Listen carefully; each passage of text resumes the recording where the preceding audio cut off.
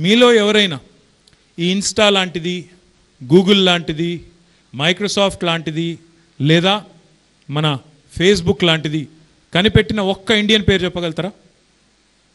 ఎవరన్నా ఒకరు ఉన్నారు అసలు? ఒక ఇండియన్ తయారు చేసిన ఉత్పత్తి ఒక వస్తువు లేదా ఒక ప్రోడక్ట్ ప్రపంచమంతా గుర్తించి ఇన్స్టా లాగా వాటిలాగా గూగుల్ లాగా యాహూ లాగా ఒకటన్నా ఉందా? మరి మన దేశ జనాభా ఎంత? నూట నలభై కోట్లు. మరి నూట నలభై కోట్ల మంది మేము మనందరం ఇంకోని కింద పోయి పనిచేద్దాం. ఎప్పటికంతేనే ఇక మన బతుకు? మన దగ్గరికి అమెరికా దే జనాభా ఎంత? ముప్పై ఐదు కోట్లు ముప్పై ఆరు కోట్లు. మన మూడో వంతు కూడా ఉండడు వాడు. పావులా కూడా ఉండడు. మరి అమెరికా దేశంలోనేమో ఒకటే బే ఏరియా నుంచి ఒకటే సిలికన్ వ్యాలీ నుంచి గిన్ని రకాల ప్రపంచాన్ని ఆకర్షించే ఉత్పత్తులు వస్తున్నాయి. ఒక్క గూగుల్లో ఈరోజు లక్షల మంది పనిచేస్తున్నారు. హైదరాబాద్లోనే వాళ్ళ ప్రపంచంలో రెండవ అతిపెద్ద క్యాంపస్ ఉంది. అమెజాన్ తెలుసు కదా?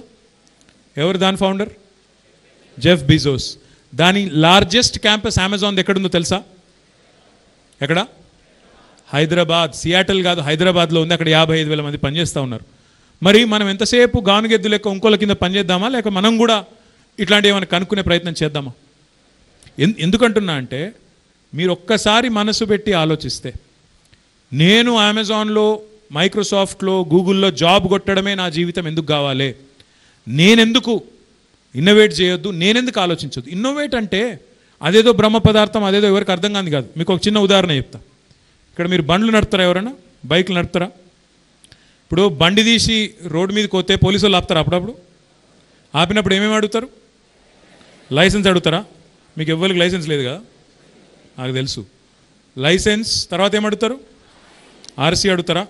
ఇంకోటి? ఇన్సూరెన్స్ అడుగుతారు. నేనేం చేసిన అంటే మంత్రి అయినాక మొట్టమొదటిసారి ఒక ఆరేడేళ్ళ కిందట నేను మా ట్రాన్స్పోర్ట్ మినిస్టర్ అప్పుడు మహేందర్ రెడ్డి గారని ఉండే. ఆయన నేను మా సెక్రటరీలు అందరం కూర్చొని ఆలోచిస్తుంటిమి. ఎట్లా ప్రజలకు హెల్ప్ చేయొచ్చు? ఇప్పుడు ఏమవుతుందంటే నేను చిన్నప్పుడు బండి నడుపుతుంటే నేను కూడా కాలేజ్కి పోయేటప్పుడు. పొంగ పొంగ పోలీస్ అయినా ఆపుతాడు. పోలీసు వాళ్ళు ఇక మీకు తెలుసు వాళ్ళు ఆపినట్టు భయం అవుతుంది ముందే. ఏమనుకోకండి. ఇప్పుడంటే మన పక్క కూర్చున్నారు కానీ ప్రతిపక్షంలో ఉంటే వాళ్ళు వేరే లెక్క ఉంటారు మళ్ళీ. ఎందుకంటే మేము ఉద్యమాలకి వెళ్ళి వచ్చినాం కదా. ఏం చేస్తారంటే నేను నేను ఇప్పుడు నేను బండి మీద పోతుంటే కాలేజ్ నిజాం కాలేజ్ పోతుంటే. పోయేటప్పుడు ఈ మూడిట్లో ఏదో ఒకటి గ్యారంటీ మర్చిపోతాం. ఆ లొల్లిలా కాలేజ్కి పోవాలనే లొల్లిలా తొందరలా ఏదో ఒకటి మర్చిపోతాం. అయితే ఇన్సూరెన్స్ ఉండదు జేబులా లేకపోతే ఉన్నా కూడా చినిగిపోయి ఉంటే సగం.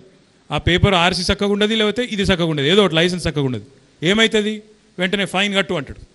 ఫైన్ కట్టు అంటే ఇక పైసలు ఉంటే ఉన్నట్టు లెక్క లేకపోతే బండి పోతుంది. ఏం చేయాలి మరి? అందుకే మేమేం ఆలోచించినామంటే ఈ మ- ఈ ఈ తొందర ప్రపంచంలో ఈ ర్యాట్ రేస్లో ఎవళ్ళ లైఫ్లో వాళ్ళు బిజీగా ఉన్నారు కాబట్టి మరి ఇవన్నీ చినిగిపోకుండా వీటిని నీట్గా వెంటనే పోలీసు వాళ్ళు కూడా ఒప్పుకునేటట్టు ఎట్లా చేయాలని ఆలోచించి ఒక చిన్న చాలా చిన్న చిన్న ఉత్పత్తి చిన్న ప్రోడక్ట్ ఒకటి తయారు చేసినాం. ఏంటి దాని పేరు? ఆర్టీఏ ఎం వాలెట్ ఆ ఎం వాలెట్లో ఏం చేసినాం?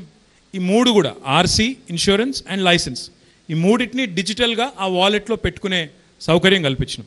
పోలీసు వాళ్ళు ఆపితే వెంటనే మీరు ఆర్టీఏ ఎం వాలెట్ చూపెడితే అందులో ఉండే వాటిని యాక్సెప్ట్ చేసి వాళ్ళు మిమ్మల్ని పంపించేస్తారు. చిన్నదే చాలా చిన్న విషయము కానీ ఇప్పటికీ ఇరవై ఎనిమిది లక్షల మంది దీన్ని డౌన్లోడ్ చేసుకున్నారు యాప్ని.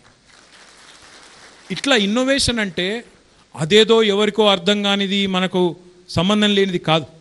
దైనందిన జీవితంలో మనం ప్రతిరోజు జీవితంలో మనకు ఎదురయ్యే చిన్న చిన్న సమస్యలు వాటికి పరిష్కారాలు.